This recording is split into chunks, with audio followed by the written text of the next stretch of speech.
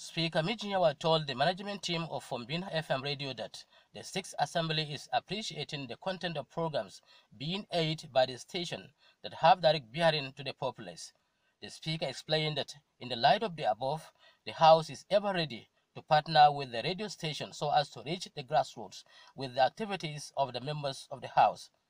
Kabiru Mijinyawa, while congratulating the Fombina FM radio station for its 15th anniversary, promising that the House is ready to offer its support for the success of the event.